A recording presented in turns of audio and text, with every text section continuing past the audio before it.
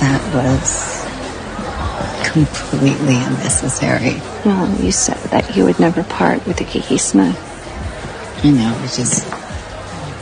I thought maybe it was time to let it go. Yeah, but some things are worth keeping.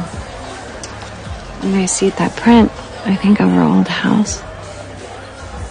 I think of us. I didn't want someone else to have a piece of us.